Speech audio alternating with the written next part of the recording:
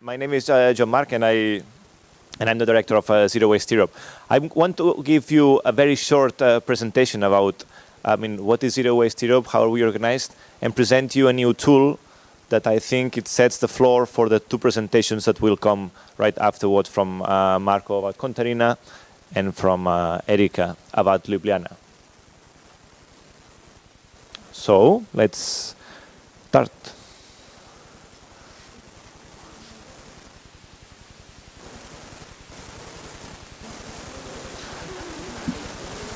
We are all going to learn how OpenOffice works today. Good. Great. So very quickly, what, what is Zero Waste Europe? I mean, our mission is to empower uh, communities to redesign our relationship with resources. As Enzo has explained very well, I mean, what is the zero waste concepts? What we do at the European level is try to make sure that all these little initiatives happening around Europe give them some coherence, exchange of best practices, um, have guys from all over Europe come here to Sofia today to learn from you, also to share experiences with you, and to see how we can help each other. And that's, that's the goal of the network. Now you see it bigger.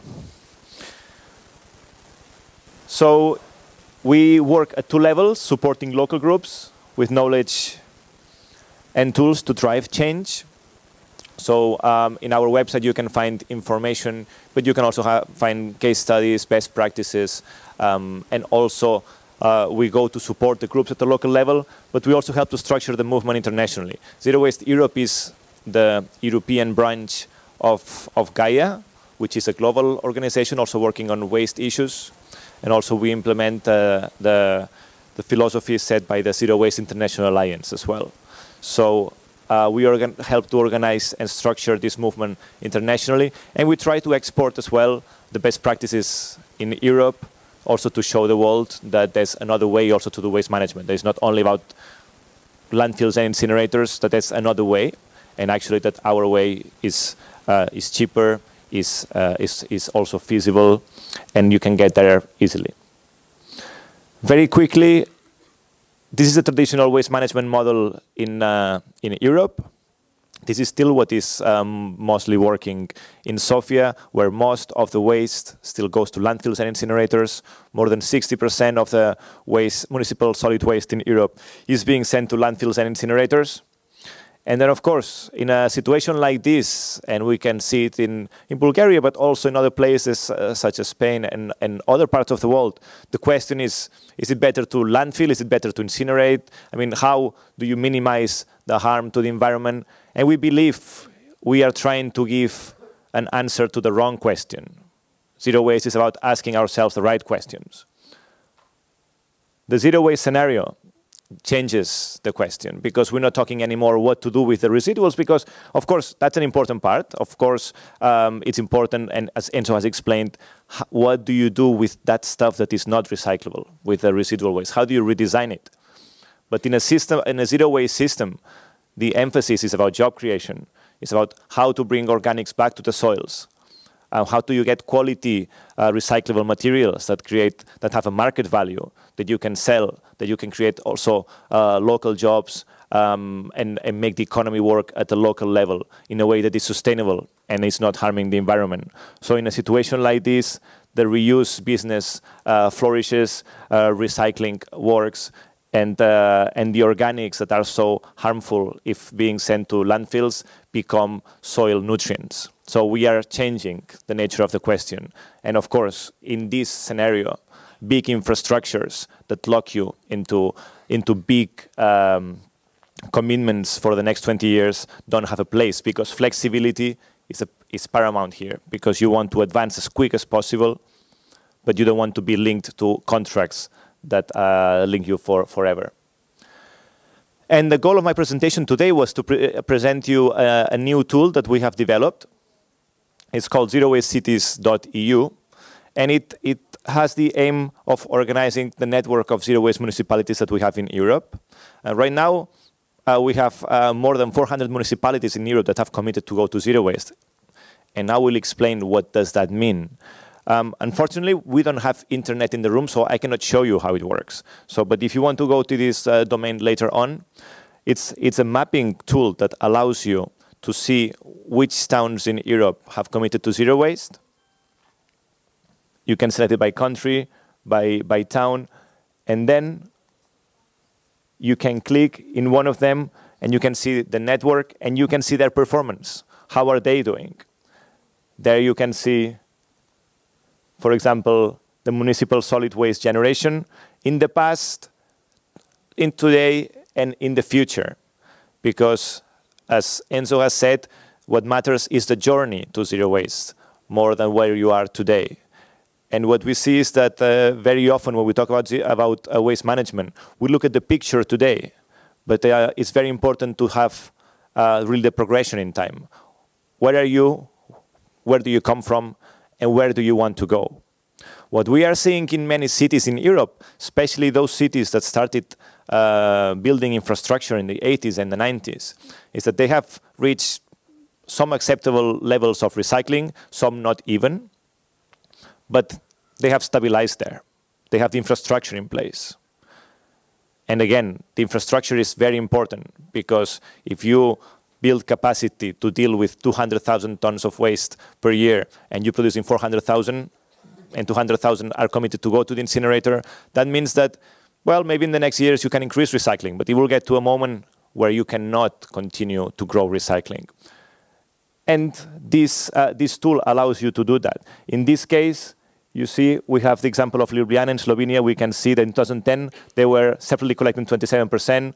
2014, it was 61%. And more importantly, in 2025, they have committed to go to 78%. And of course, the residual waste per capita, which kind of like mixes separate collection and uh, waste generation. And there you can see that residual waste is 110 kilograms per capita, when the European average is around uh, 280, more or less. So it's well uh, below. And because, and here you can see why uh, Ljubljana has adopted a zero waste uh, commitment, because you see where it was at 30%, where it is at 60%, and where does it want to go? Almost to 80%. Really um, illustrating the commitment to always improve this system. Here you have some tools as well, and you, there's a possibility to look into the into the, some bibliography and pictures, etc. I cannot navigate into the website because uh, we don't have internet, but in any case, you can always share these statistics in Facebook, in, in Twitter, etc. You can export if you are uh, talking to a policymaker or to a waste expert or to a company. This, is inform this information is available, is online, and is for free. And an interesting tool is that we also have a benchmark tool in here. So it allows you to benchmark zero waste municipalities against non-zero waste municipalities. In this case, and again, this is I prepared before because we don't have internet, we took Ljubljana and we benchmarked it against Copenhagen in Denmark. You can export this benchmark as PDF, you can share it, and um, if you scroll down here, you would see the comparison Again, we're still populating this database, so I mean, it's, it's not uh, up to date, but uh, data that we have for 2012 in Copenhagen, it was 32% separate collection and 425 kilograms per capita per year of waste generation. You can see that Ljubljana is performing better with these indicators. And the residual waste is 110 against 289 of residual waste. And again, um, Erika will explain the experience of Ljubljana, but you know that Slovenia joined the European Union in 2004, whereas uh, Denmark has been a model for waste management for some decades.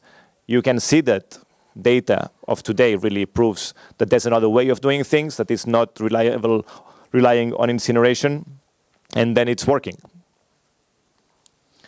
How to become a zero waste municipality? All of that is explained in the website, but um, again, uh, zero waste is a journey.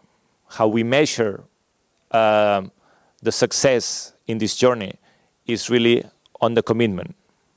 Any town can start becoming a zero waste. What is important is to start walking in the right direction. Therefore, any town in Sofia can decide to join the zero waste path.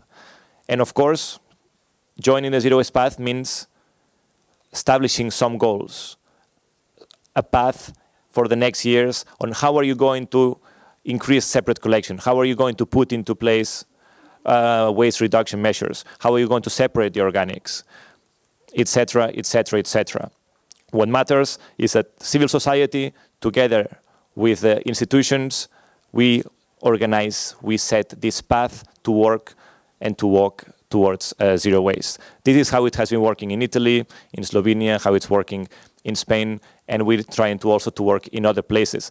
And this um, has allowed municipalities that were, for example, in Gipuzkoa, where only five years ago the average separate collection rate was around 20, 25%, now is already above 50%. They are already, in only five years, have managed to fulfill the European targets for recycling for 2020. Modern cities like Copenhagen or Stockholm or Berlin will struggle to meet the European targets in 2020 of 50% recycling because of this infrastructure they have. Um, so that's in a nutshell, and you can have more detail there, how to become a zero waste municipality. In Bulgaria, the only thing you will need to do is just uh, get together with uh, people from Zero Waste Bulgaria and just elaborate this path, start walking in this direction, and we can include you in the map, and we can follow over the next years if you need help uh, at the technical level or political level, visibility, we can provide you that, and you, we can help you walk, uh, start walking towards zero waste. And finally, if you want to learn more about these stories, this is one of the resources that we have, and you can have it also outside. It's the, the case studies that we are publishing from different experiences in Spain, in Italy, in Slovenia. Um, we are uh, Contarina that is going to explain now why Marco, and Erika is going to talk about Ljubljana that just came out last week. They are all also available in Bulgarian and in many other languages, showing that, uh, well, this is already happening. Zero waste is happening now. And of course, this is uh, still an ongoing story. That was my story. Um, I invite you to now listen carefully to the experience of Contarina and to Ljubljana. You'll see that it's possible, it's happening. And if you have questions during the conference, just uh, come to us and we're happy to help. Thank you.